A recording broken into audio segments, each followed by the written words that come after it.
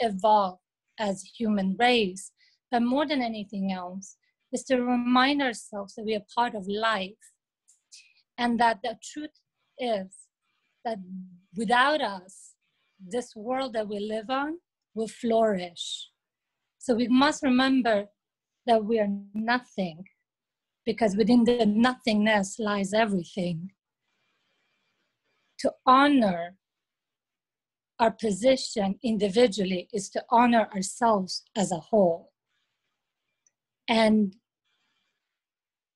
I think that's why so, it's so beautiful and so important to come together because it reminds us of who we truly are. And the truth is that we are all and everything all at once, not just as humans, but as everything. And I think that's the beauty of life that there is no walls. There's only walls between us if we put them up. And what kind of limitation that is. Thank you. Thank you, Shabnam. I'd like to now call on one of our guests if and ask if they are open to participating.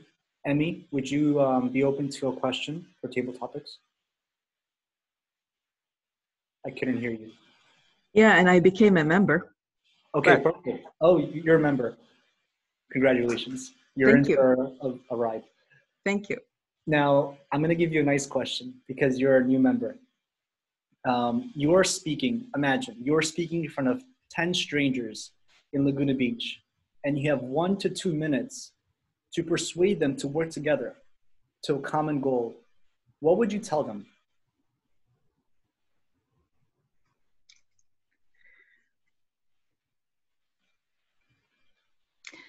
Okay, so I would tell them each of us has an opinion, an idea. If we all put, if we put all these ideas together towards a common goal, then it's better than just one person. And then each idea can participate and becomes a collaboration of ideas towards that, to, towards achieving that goal. Thank you, Emmy. That was a, that was a great answer to a very tough question. Uh, I'd like to now call on soon to be DTM Scott. What does the power of coming together mean to you? Um, it usually means better ideas. Whenever I've worked in a group, I always find that you get better ideas than if you're just working individually. And even if you have came up with some I some relatively good idea to start with, if you let it float around the room to to a bunch of other people, it just gets improved on, and and gets ranked up as you go. Uh, I've never had a case where working in a group where the ideas went downhill. They always seem to lift things up. You, it was something we had to work on a bit as engineers because it's typical for engineers to say, well, that can't work because of something, and and to be kind of cut things down. And it, went to the point where we actually got an improv uh, teacher to come in to teach us to say yes and this, and to rather than to shut something down, to take an idea and build on it. Uh, but with that thought, I, I've I've always found that working in a group always brings out better ideas, and I've enjoyed it a lot. Thank you. Thank you, Scott. Now, at this point, I would like to ask for our timers report to make sure everyone qualified.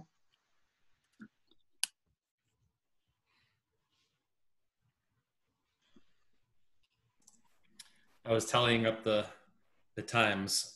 Okay, so there are some who have qualified and there are some who have not qualified. First, I myself, Derek, have qualified from a timer standpoint. Dean qualified at one minute and 40 seconds. Shabnam qualified at one minute and 21 seconds. And here are those who have not qualified. Raquel came in at 45 seconds, Amy at 28 seconds, and Scott just missed it at 58 seconds. Oh, please. So again, those who qualified Derek, Dean, Shab, and Shabnam all qualified.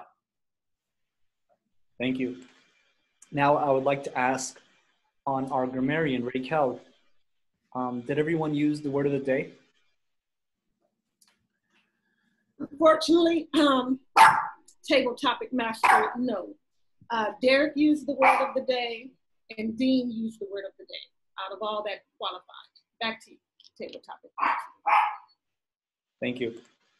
Lastly, I would like for all of you to please vote for your best table topic speaker and send your votes to our vote counter, which is Scott right there. And I would like to now pass it back to our Toastmaster, Todd Brooks. Thank you, Moriel. Uh, so we would like to now go to the third part of the meeting, which is our general evaluator. For the evaluations, basically the three evaluators evaluate the three prepared speeches for today's meeting. So now I'd like to introduce Val Lima. Val, can you please welcome us to the third and final part of our meeting tonight?